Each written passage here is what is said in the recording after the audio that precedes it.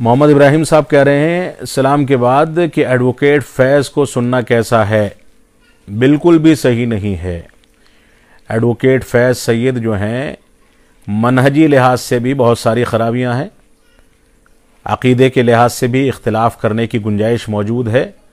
और सबसे अहम बात यह है कि वो आलिम दीन नहीं हैं। एक एडवोकेट हैं, उनके नाम के साथ लगा भी है। और ना से जुड़ करके मसाइल को गहराई से समझने की कोशिश करते हैं। लिहाजा ऐसे लोगों से इल्म लेने को असलाफ़ उम्मत गलत समझते थे, जिन लोगों का तखसस इल्म शरीयत ना हो।